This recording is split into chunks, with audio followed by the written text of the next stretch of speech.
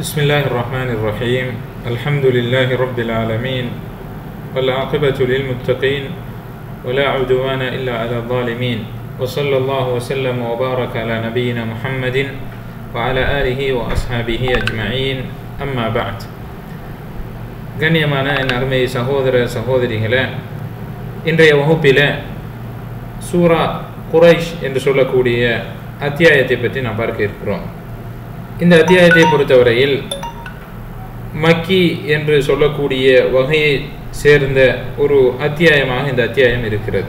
இந்த அத்தியாயம் நான்கு வசனங்களை கொண்ட ஒரு அத்தியாயம். இந்த அத்தியாயத்தை பொறுத்தவரையில் அல்லாஹு தாலா இந்த அத்தியாயத்தில் மக்காவாசிகளுக்கு குறைஷியலுக்கு அவர்களுக்கு எப்படியா எந்த வழியில உணவளிக்கிறான்? அல்லாஹு தாலா குறைஷிகளுக்கு எந்த முறையில் உணவளிக்கிறான் என்பதை பற்றி அல்லாஹு தாலா சொல்கிறான். குறைஷியர்கள் வியாபாரத்தில் தேர்ச்சி பெற்றவர்களாக இருக்கிறார்கள். அவர்கள் இரண்டு விதமான வியாபாரங்களை மேற்கொள்வார்கள். இரண்டு விதமான வியாபாரங்களை அல்லாஹு தாலா அவர்களுக்கு வசப்படுத்தி கொடுத்திருந்தான். கோடை காலத்தில் ஒரு வியாபாரம் மாறி காலத்தில் ஒரு வியாபாரம். மாறி காலத்தில் அவர்கள் அதாவது மாறி காலத்திலே யமனுக்கும் கோடை காலத்தில் சிரியாவுக்கும் வியாபார நோக்கத்திலே பயணம் செய்வார்கள். இந்த இரண்டு பயணங்களிலும் இரண்டு வியாபார குழுக்களிலும் அவர்களுக்கு அதிகமான இலாபங்கள் கிடைக்கும்.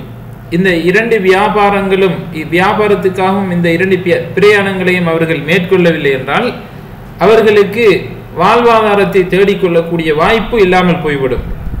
வாழ்வாத வாழ்வாதாரத்தை தேடிக்கொள்வது அவர்கள் மீது சிரமமாக மாறிவிடும். அதே போன்று காபா ஆலயத்தை நெருக்கமாக அவர்கள் காபா ஆலயத்திற்கு அண்மித்து அவர்கள் வசிப்பதன் காரணமாக அவர்களுக்கு அல்லாஹுடைய ஒரு பாதுகாப்பும் அங்கே இறைவனால் கொடுக்கப்படுகிறது. எனவே வாழ்வாதாரத்தை தேடிக்கொள்ளக்கூடிய வாய்ப்பை இறைவன் யமன் சிரியா ஆகிய இரண்டு பிரதேசங்களுக்கும் கோடை காலத்திலும் மாரி காலத்திலும் செல்வதன் மூலமாக அவர்கள் தங்களுடைய வாழ்வாதாரத்தை தேடிக்கொள்கிறார்கள். காபா ஆலயத்தை அண்மித்து அவர்கள் வசிப்பதன் மூலமாக அவர்களுடைய அவர்களுக்கு பாதுகாப்பு கொடுக்கப்படுகிறது. பாதுகாப்பை பெற்றுக்கொள்கிறார்கள். பாதுகாப்பான ஒரு வாழ்க்கையை அவர்கள் அடைந்து கொள்கிறார்கள். இது குரேஷியர்களுக்கு இறைவன் கொடுத்திருந்த ஒரு சிறந்த ஒரு சிறப்பாக இருக்கிறது. அல்லாஹு தாலா இந்த நியமத்துகள் குரேஷியர்களுக்கு கொடுத்திருந்த இந்த நியமத்துகளை பற்றி இந்த அத்தியாயத்திலே பேசுகிறான். இந்த அத்தியாயத்திலே இறைவன் என்ன பேசுகிறான்? அதாவது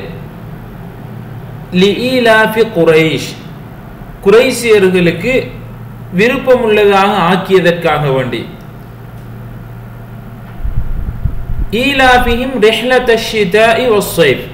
அவர்களுக்கு மாறி காலத்தின் பயணத்தையும் கோடை காலத்தின் பயணத்தையும் விருப்பமுள்ளதாக இறைவன் ஆக்கியதற்காக வேண்டி அல்லாஹு தாலா குறைஷியர்களுக்கு விருப்பம் உள்ளதாக ஆக்குகிறான். எதை விருப்பம் உள்ளதாக ஆக்குகிறான்? மாரி காலத்தில் பயணத்தையும் கோடை கால பயணத்தையும். மாரி காலத்திலே அவர்கள் யமனுக்கும் கோடை காலத்தில் சிரியாவுக்கும் வியாபார நோக்கத்தில் பயணம் செய்வார்கள். இதை இறைவன் அவர்களுக்கு விருப்பமானதாக ஆக்குகிறான். இவ்வாறு இறைவன் அவர்களுக்கு விருப்பமானதாக ஆக்கியதற்காக வேண்டி இந்த காபா ஆலயத்தின் இரட்சகனை நாயனை அவர்கள் வணங்கட்டும். அல்லாஹு தாலா இவர்களுக்கு இந்த இரண்டு பிரயாணத்திலும் விருப்பத்தை ஏற்படுத்தியதற்காக வேண்டி அல்லாஹுவை வணங்குமாறு இறைவன் கட்டளை இருக்கிறான் அல்லாஹுவை வணங்குமாறு இறைவன் கட்டளை இருக்கிறான் அல்லதி அத்ஆமஹும் மின் ஜூ வ ஆமனஹும் மின் ஹவுஃப் அல்லாஹு தாலா இந்த வியாபாரத்தில் அவர்களுக்கு ஆர்வத்தை ஆசையை ஏற்படுத்தியதன் மூலமாக அவர்களுக்கு அல்லாஹு தாலா அத்ஆமஹும் மின் ஜூ. பசியிலிருந்து அல்லாஹ் அவர்களுக்கு உணவளிக்கிறான். வ ஆமனஹும் மின் ஹவுஃப் அச்சமற்றவர்களாகவும் அல்லாஹ் அவர்களை ஆக்கி விடுகிறான். அச்சமற்றவர்களாக பயமற்ற பயமற்றவர்களாக அல்லாஹ் அவர்களை ஆக்கி விடுகிறான். அவர்களுக்கு நிம்மதியை கொடுத்து விடுகிறான். காபா ஆலயத்தை அண்மித்து அவர்கள் வசிக்கிறார்கள். இதன் மூலமாக அவர்களுக்கு ஒரு பாதுகாப்பு கிடைக்கிறது. மாரிகால கோடைகால வியாபாரத்தில் அவர்கள் ஆசைப்படுகிறார்கள். இறைவன் அந்த ஆசையை ஏற்படுத்துகிறான். இவ்வாறு இந்த வியாபாரத்தில் அவர்கள் ஈடுபடுவதன் மூலமாக அவர்களுக்கு பசியிலிருந்து அல்லாஹு தாலா அவர்களுக்கு உணவளிக்கிறான் என்று அல்லாஹு தாலா இந்த வசனத்திலே சொல்கிறான். கண்ணியமான என் அம்மை சகோதர சகோதரிகளை இந்த வசனம் இந்த அத்தியாயம் குறைஷ் என்று சொல்லக்கூடிய அத்தியாயம் குறைஷியர்களுடைய இயல்பு வாழ்க்கை எப்படி இருந்தது? அல்லாஹ் அவர்களுக்கு எப்படியான அருள் செய்திருந்தான்? அல்லாஹ் அவர்களை எவ்வாறு கௌரவித்திருந்தான் என்பதை பற்றி அல்லாஹு தாலா இந்த வசனத்திலே பேசுகிறான். அவர்களுக்கு நிம்மதியான பாதுகாப்பான வாழ்க்கையை கொடுத்திருந்தான். இறைவனுடைய ஆலயத்தை சூழ அவர்கள் வசிக்கிறார்கள். அதன் மூலமாக இறைவனுடைய பாதுகாப்பை பெற்றுக்கொள்கிறார்கள். அதே போன்று குரேஷியர்கள் வியாபாரத்தில் தேர்ச்சி உள்ளவர்களாக வியாபாரத்தில் ஈடுபாடு அதிகம் கொள்ளக்கூடியவர்களாக இருந்த காரணத்தினால் அவர்களுக்கு மாரிகால கோடைகால வியாபாரத்தில் அல்லாஹு தாலா ஆர்வத்தை ஆசையை ஏற்படுத்துகிறான். இந்த இரண்டு வியாபாரத்தின் மூலமாக அவர்கள் தங்களுடைய வாழ்வாதாரத்தை தேடிக்கொள்கிறார்கள். வசதி உள்ளவர்களாக பெரும் பெரும் வியாபாரிகளாக தங்களை மாற்றிக்கொள்கிறார்கள். இந்த காரணத்திற்காக வேண்டி இந்த காபாவுடைய ஆலயத்தின் இந்த ஆலயத்தின் இரட்சகனை அவர்கள் வணங்கட்டும். வேறு சிலைகளை வணங்கக்கூடாது. ஒரே இறைவன் இந்த காபாவிற்கு சொந்தக்காரன் காபாவின் இரட்சகன் அந்த அல்லாஹுவை அவர்கள் வணங்கட்டும் என்று அல்லாஹு தாலா இந்த அத்தியாயத்திலே நமக்கு தெளிவுபடுத்துவதை பார்க்கிறோம். எனவே கண்ணியமான என் அருமை சகோதர சகோதரிகளை இந்த சிறிய அத்தியாயம் குறைஷ் என்று சொல்லக்கூடிய இந்த சிறிய அத்தியாயம் இந்த அத்தியாயத்தை நாம் ஒவ்வொருவரும் மனனம் செய்ய வேண்டும். இந்த அத்தியாயம் சொல்கிற படிப்பினைகள் பாடங்களை நாம் நம்முடைய வாழ்க்கையில் எடுத்து நடக்க வேண்டும். அல்லாஹு தாலா குறைசியர்களுக்கு நியமத்துகளை கொடுக்கிறான். அவர்களுக்கு அச்சமற்ற வாழ்க்கையை கொடுக்கிறான். பொருளாதார ரீதியாக அவர்களை அல்லாஹு தாலா செல்வந்தர்களாக ஆக்குகிறான்.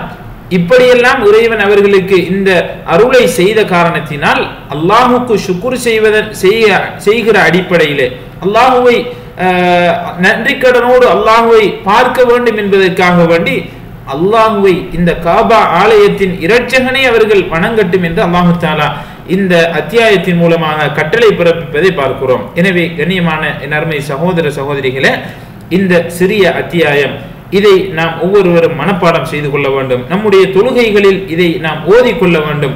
நிச்சயமாக இந்த அத்தியாயம் சொல்கிற அர்த்தங்களை நாம் புரிந்து நம்முடைய தொழுகைகளில் இதை இந்த வசனங்களை ஓதுகிற போது நிச்சயமாக நம்முடைய தொழுகைகள் உயிரோட்டமுள்ள தொழுகைகளாக மாறும் என்பதை நாம் ஒவ்வொருவரும் புரிந்து கொள்ள வேண்டும். அடுத்ததாக அன்பின் இஸ்லாமிய சகோதரர்களே இந்த அத்தியாயத்தை எவ்வாறு ஓதுவது என்பதை நாம் அடுத்ததாக பார்ப்போம். பிஸ்மில்லாஹிர் ரஹ்மானிர் ரஹீம் لإيلاف قريش إيلافهم رحلة الشتاء والصيف. فليعبدوا رب هذا البيت الذي أطعمهم من جوع وآمنهم من خوف. صدق الله العظيم. அன்பு இஸ்லாமிய சகோதர சகோதரிகளை இப்படி இந்த அல் குரானுடைய இந்த அத்தியாயத்தை நாம் ஓத கற்றுக்கொள்ள வேண்டும். இந்த அத்தியாயத்தை நாம் அதாவது பொதுவாக அல் குர்வானுடைய வசனங்களை முறையாக ஓதுவதற்கு கற்றுக்கொள்ள வேண்டும். நாம் முஸ்லீம்களாக இருக்கிறோம். இஸ்லாத்திலே பிறந்து இஸ்லாமியர்களாக வாழ்ந்து கொண்டிருக்கிறோம். ஆனால் அல் குர்வானை முறையாக நமக்கு ஓத தெரியவில்லை என்றால் நிச்சயமாக அல்லாஹ்விடத்திலே நாம் பதில் சொல்ல கடமைப்பட்டிருக்கிறோம். நாளை மறுமையில் அல்லாஹு தாலா இந்த அல் குர்வானை ஓதினாயா என்று நம்மிடத்திலே கேட்கிற போது நாம் சொல்ல முடியாத எனக்கு அல் குர்வானை ஓத தெரியவில்லை நான் அல் குர்வானை படிக்க தெரிய படிக்கவில்லை என்று நாம் சொல்வது நிச்சயமாக நாளை மறுமையில் நம்மை கை சேதப்பட்டவர்களாக மாற்றுவதற்கான ஒரு காரணமாக மாறிவிடும். எனவே கண்ணியமான நம்மை சகோதர சகோதரிகளே ரமலானுடைய மாதம் அல் குர்வான் இறக்கப்பட்ட மாதம் இந்த அல் குர்வான் இறக்கப்பட்ட மாதத்திலே நாம் இருக்கிறோம். இந்த மாதத்தில் அதிகமாக அல் குர்வானை ஓதக்கூடியவர்களாக நாம் மாற வேண்டும். நாம் ஓதுகிற நம்முடைய ஓதல்கள் முறையாக அமைய வேண்டும். அதற்காக நாம் ஒவ்வொருவரும் முயற்சி எடுக்க வேண்டும். நமக்கு அல் குர்வானை ஓத தெரியவில்லை என்றால் அதை கற்றுக்கொடு கற்றுக்கொள்வதற்கு அல்லது அல் குர்வானை படிப்பதற்கு நாம் அதை தெரிந்தவர்களிடத்திலே சென்று நாம் படிக்க வேண்டும். அதற்கான முயற்சிகளை எடுக்க வேண்டும். நமக்கு வயது சென்று விட்டது என்பதற்காக நாம் அல் குர்வானை படிப்பதில் அலட்சியம் செய்துவிடக்கூடாது.